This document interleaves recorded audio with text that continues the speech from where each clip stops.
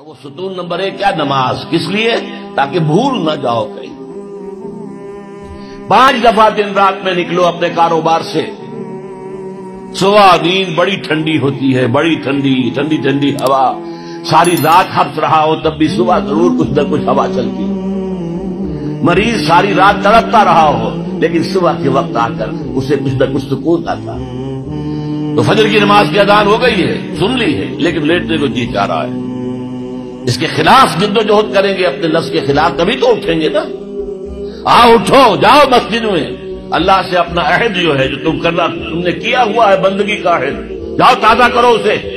चार रकतों में चार दफ़ा कहो ईया का नाबुदो वैया का नस्ताई अल्लाह, हम तेरी ही बंदगी करते हैं, तुझी से मदद मांगते फिर तुम धंधा करोगे, कारोबार करोगे, दफ्तरों में जाओगे, फिर जोहर के वक्त फिर आ जाओ मस्जिद में। फिर अहद ताज़ा करो। फिर कोई थोड़ा सा कैलूला कर लिया, कोई थोड़ा सा आराम कर लिया कुछ खाना खाया, फिर गए अपनी दुकान पर। लेकिन पहले असर की नमाज़ पढ़ लो। पहले तुम अपना अहद जो है फिर ताज़ा कर लो। फिर गुरु में वक्त, गुरु में सूरज के वक्त फिर ताज़ा करो। रात को सोने से पहले फिर ताज़ा करो।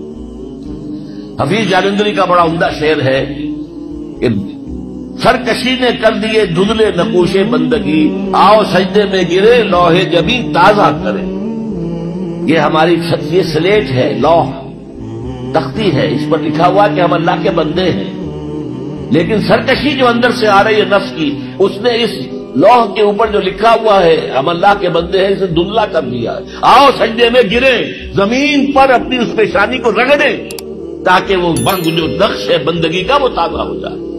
सरकशी ने कर दिए धुंधले नकोशे बंदगी। आओ सजदे में गिरे, लोहे ज़मीन ताज़ा